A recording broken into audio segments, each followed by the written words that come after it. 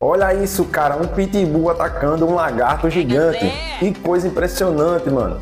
Esse que é um lagarto militou, quando viu aquele cachorro pitbull vindo em sua direção, imediatamente subiu nessa árvore, cara. Mas foi surpreendido pelo cão que tentou de toda forma puxar o lagarto para derrubá-lo.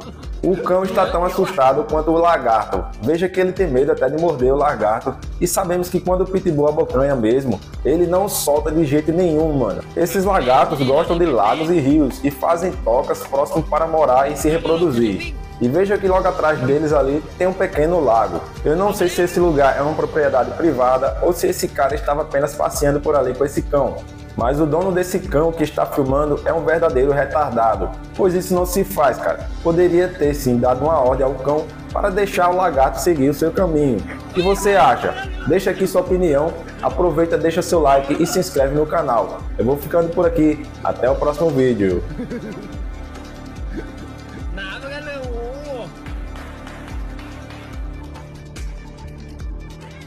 ห จะทำยังไงกับมันดีเนี่ยจะกัดกันอีกนานไหมเนี่ยแยกกันไม่ได้